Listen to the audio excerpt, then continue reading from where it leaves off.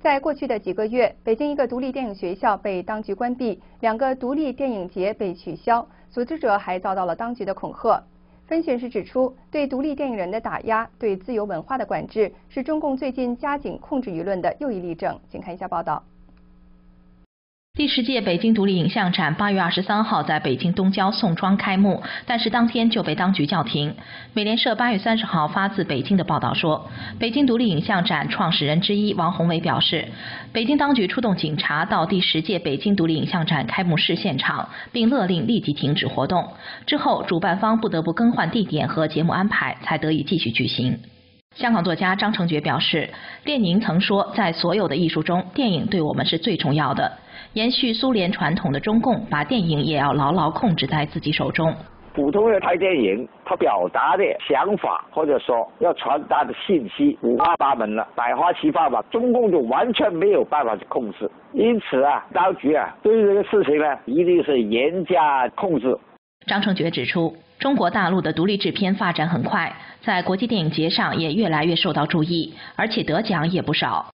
毕业于北京电影学院的北京独立电影导演范坡坡，他参与制作的纪录片《兄弟》也是这次北京独立影像展的参展影片之一。他在三十号晚间接受自由亚洲电台采访时表示，现在中国独立电影圈流行这样的说法：在中国，独立电影节有两种死亡方式供选择，一是自杀，二是他杀。这是他们一贯的残酷的邪恶方式，就是不允许独立与自由精神的存在，用一切手段来压制民间的对这方面的自由文化做出的这种努力，想用他们的这个党文化这个铁棒来一统天下。据报道，今年三月的第六届云之南纪录影像展被当局取消，已经赶至大理的独立影视人被告知不得参与任何组织影视活动。去年十一月，在南京东郊举行的独立电影节也遭政府打压，一些原本出资赞助电影节的投资商，在中共当局的压力下纷纷撤资。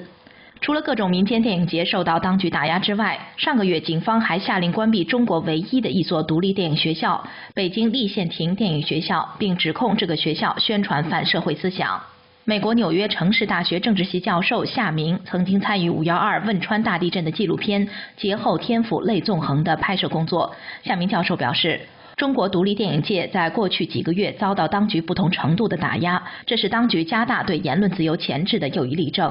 国际人权组织人权观察近日发表报告称，自今年二月以来，中共已拘押五十五名维权人士，抓捕了一些著名网上异议人士，包括正被刑拘的北京知名法学家许志勇、广东知名维权人士郭飞雄、独立制片人杜斌等。从八月二十号以来，中共又开展所谓打击网络谣言的专项行动，北京的秦火火、薛蛮子、第二拆四、周路宝、傅学胜等多位微博红人、网络大 V 相继被捕。中共当局要求互联网遵守七条底线，发表言论不得越线。宋庄诗人王藏表示，中共害怕自由文化冲击他们的执政根基，所以抓捕意见领袖，对举办展览设置各种阻碍，目的是让有独立思想的人不得安宁。我认为当局比较好的做法就是能够顺应时代潮流，开放民意表达的渠道。要压抑的话，反而不行的。就好像大禹治水，用的是开导、疏导，而不是堵。